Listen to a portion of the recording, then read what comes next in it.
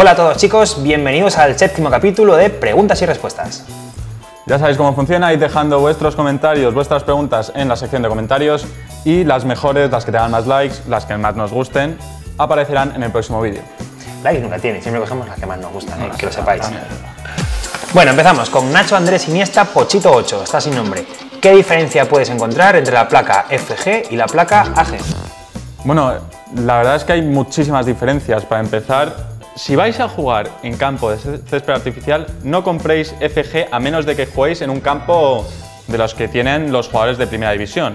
Si vais a jugar con, en un campo de césped artificial, coged placa AG. Es muy sencillo, los campos de césped artificial son muy muy rígidos, por tanto la placa, los, los tacos cuando se claven van a dar mucha más presión en la planta del pie que si fuese un campo de césped artificial, por tanto lo que va a hacer es reducir esa presión que si estuvieses usando los 12 tacos que usa una placa de FG. Mira, tan sencillo como vamos a coger por ejemplo esta bota. Esta bota es una FG, es una bota pensada para hierba natural. Esta bota cuando entra en hierba natural todos los tacos se clavan y nosotros realmente nos apoyamos sobre esta zona. Mientras que si estamos en un campo artificial los tacos no se clavan, sino que se apoyan sobre el terreno, con lo cual nos vamos a repartir todo nuestro peso por cada uno de los tacos y cada uno de estos tacos va a ser como un clavo que se, que se introduce en nuestra planta del pie. Por tanto, tiene mucha lógica que utilicemos botas con mucho más apoyo para hierba artificial y de esta manera jugaréis más cómodos. No invirtáis nunca estas cosas. Eh, yo entiendo que la bota de FG os va a gustar más, pero cada bota para lo que está destinada. Además, si luego se le rompe, vendrán a solo porteros a cambiarla y evidentemente, si vemos que la habéis usado donde no es, no la podremos cambiar. Pierde su garantía. Si usáis una bota de taco FG en césped artificial y rompéis el taco, esa bota ya no se puede cambiar. Continuamos. Siguiente pregunta, Fer.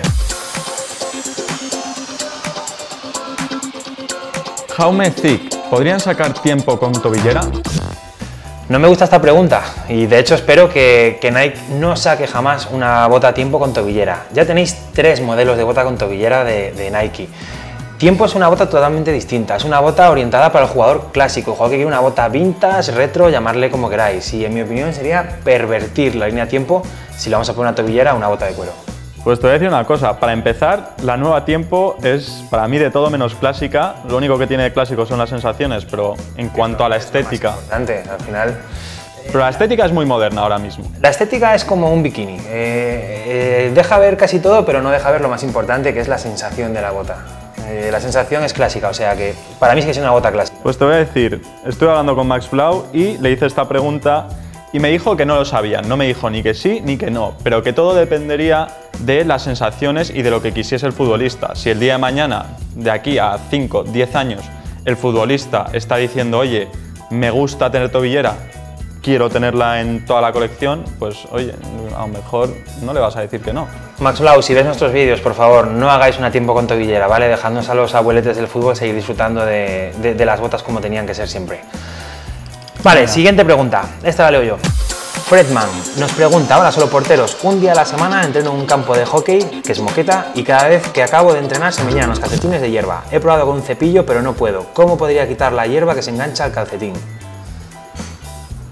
Sinceramente, Fredman, yo lo he intentado y por mucho que lo consigas, ¿qué más te da? Va a volver a aparecer eh, al próximo entrenamiento. Sinceramente, entre que es mucho lío tener que ponerte ahí para quitarlo, que, de verdad, que te lleva muchísimo tiempo, todo para que vuelvas a tenerlo al día siguiente, a mí no me merece la pena.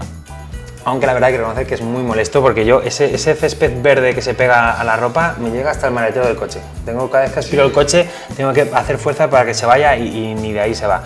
Es una incomodidad, pero también pensad que los campos de moqueta, bueno claro, en el hockey no. En el fútbol están desapareciendo y en el hockey no. Pues paciencia y calcetines que sean de fibra lo más sintética posible para que, no sean tan de algodón, sino que sean de fibra para que no se, no se enganche el, césped. Es que esto es como pedir que en un campo de césped artificial no se te llenen los tacos de bolitas de goma. Claro. Vale, Fer, pasamos. Siguiente pregunta para ti. Joel Batcott. ¿Sirve el método de Cristiano Ronaldo de dejar en remojo las botas en agua caliente para que se moldeen mejor? Un saludo.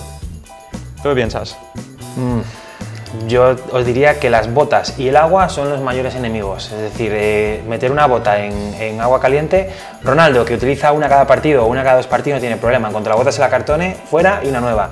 Nosotros tenemos que hacer que las botas duren todo lo posible. Y sí, el agua caliente con el calor se dilata la bota, el pie entra mejor, pero la siguiente vez que las pongáis la bota estará destrozada. Mi opinión. Yo nunca lo haría, sinceramente. Eh, una bota a día de hoy se va a moldar con tiempo las hay algunas que, como la Hypervenom, que sinceramente no se van a moldar. Es una bota que está hecha para un futbolista que busca unas condiciones muy específicas, quiere tener una carcasa un poco más rígida, que le aporte distintas sensaciones. Y hay zapatillas que no lo van a hacer y sinceramente estas tampoco. Y de hecho, si le pones agua a esta bota vas a estropear la piel, así que yo no la aconsejaría.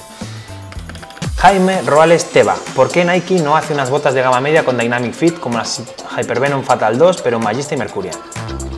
Pues, a ver, vienen muchas colecciones nuevas en 2016, quién sabe. A lo mejor si eh, la Fatal 2 con collarín ha tenido éxito, Nike dice, ¿por qué no vamos a darle esa opción a todos los clientes que a lo mejor no tienen la posibilidad de tener la bota de gama alta con calcetín, pero sí que pueden conseguir la bota de gama media? Yo creo que sería un acierto. Tú has estado con Max Blau y has hablado con él de cosas, yo he estado con otra gente de Nike, también he visto cosas nuevas y los más pequeños, creo, creo, de momento es un rumor, pero seguramente os atiendan más si os gustan las botas altas con, calcetín, con Dynamic Fit. Vale, última pregunta. Sean cajas. ¿Por qué futbolistas como Neymar e Isco cambiaron de Nike Hypervenom con calcetín a Mercurial sin calcetín y ahora nuevamente con Hypervenom, pero en este caso sin calcetín? Aquí hay mucha historia detrás. Mucha ¿eh? historia. A ver, mm, voy a dar mi opinión personal, ¿de acuerdo? Nike no ha dicho nada de esto, con lo cual cualquier cosa que digamos es opinión de Fer o mía. En mi opinión, la nueva Hypervenom lo que ha hecho es hacerse un poquito más armada. Con lo cual eh, se había creado un hueco en Nike que dejó Total 90, que no lo había cubierto ninguna bota, y que ahora Hypervenom ha intentado pues, armarse un poquito más, tener más golpeo de balón, con lo cual la bota es más armada. Futbolistas como Isco, futbolistas como Neymar, acostumbrados a la Mercuria, que luego pasaron a Hypervenom, pues también a la ligera, ahora se encuentran con esta sensación de que la bota no es, no es lo que ellos lo que un jugador ligero como ellos quieren. Entonces lo que han hecho es, pues no, irse a, irse a Mercurial, es un paso lógico. Nunca busquéis segundas interpretaciones de estas cosas. El futbolista cambia de bota porque hay uno que le gusta más, dentro de la misma marca. Lo que pasa es que Neymar ha hecho una pequeña trampa que Fernando os va a explicar ahora. A ver, Neymar, como sabéis, seguramente es imagen del Silo Hypervenom, por tanto, Nike no puede perder a ese jugador. Entonces, si Cristiano es Mercurial y Neymar es Hypervenom, necesitas que Neymar continúe con Hypervenom. ¿Qué es lo que han hecho? Vosotros ahora, cuando veis a Neymar jugar con Hypervenom sin calcetín, es una bota que realmente es una Mercurial, lo que pasa que lo que han hecho es meterle eh, la decoración de la Hypervenom. Que sepáis que no es la primera vez que esto pasa. Ya lo vimos en el pasado con Adidas cuando sacó Nitro Charge y Dani Alves no podía ponerse esa bota. Lo que hacían era darle un Adicero pero con la decoración de Nitro Charge. Y a mí sinceramente me parece un acierto. ¿Quieres que tu jugador siga siendo imagen de esa bota? Pues oye, dale la bota que quiere, píntala como quieras y se acabó. Y a la vez tienes una colección mucho más completa. Mercurial, muy ligera, tiempo, muy clásica. Hypervenom, mucho más armada y luego tienes la mallista para, para, el toque, es una bota un poquito entre medias entre una ligera y una armada. Me parece sensacional la idea de Nike. Vale, pasamos a preguntas relámpago. Osvaldo Lean, si te dieran a elegir entre la Umbro Special y la Puma Evo Power, ¿con cuál te quedarías? Yo con la Evo Power. Me encantan, son mis dos favoritas, pero Umbro Special. De Saulo 2000, ¿es Nike o Nike? Es Nike. Nike. Patrock Place, ¿les gusta más Keylor Navas en el Real Madrid o prefieren a De Gea? A mí me gusta Navas mucho, pero me hubiera gustado venir a De Gea. Segundo la, la moción de Fer, estoy encantado con Keylor Navas, pero si viniese De Gea, mucho mejor. Juan Pablo Naranjo, si pudieran ser patrocinados por una marca, ¿cuál sería? Nike. Adidas. Camilo Guerrero, además del fútbol, ¿qué otra cosa quisiera ser? Tantas cosas me gusta el rock. Me hubiera gustado ser una estrella del rock, macho. ¿Sabes? pinta, además con ese pelo que tenías antes. Sí, ¿eh? me hubiera dado para darle ahí con la guitarra. Yo, piloto de motos, piloto profesional de MotoGP. Pasamos a nuestra nueva ronda. Eh, la pregunta de ¿qué me dices? Y esta vez hemos escogido una de Edgar HH que nos pregunta, hola, actualmente ¿dónde se encuentra el señor Sánchez de Broto? Quiero saludarle, gracias. ¿Lo sabes tú? Sí, tú también lo sabes. Sí, claro, lo sé. Sánchez Broto pues sigue con nosotros, siguen solo porteros. Evidentemente ya no es tanto la cabeza visible porque ya somos un montón de ellos, está a camino entre Málaga y Zaragoza porque en Málaga tiene la familia, pero sigue siendo la persona que controla todo, que controla todo esto. Es el ojo de Sauron. Es el, el ojo que todo lo ve. El ojo de- Pues sí, señor, y le vamos a hacer llegar tus saludos además para que sepa que todavía os seguís acordando de él, porque es el padre de toda esta idea, de la que tanto disfrutamos, tanto vosotros como nosotros. Bueno chicos, eso ha sido todo por el séptimo episodio de Preguntas y Respuestas, pero Pedro, el octavo cae en un día muy especial. Pues sí, dentro de dos viernes va a ser 1 de enero. ¿Y eso qué significa? Año nuevo. Año nuevo, con lo cual vamos a tener que hacer un capítulo un poquito especial, ¿verdad?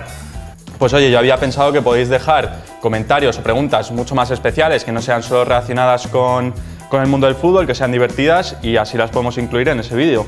Capítulo especial que vais a decidir vosotros. Así que chicos, nos vemos el año que viene. Nos vemos en la próxima.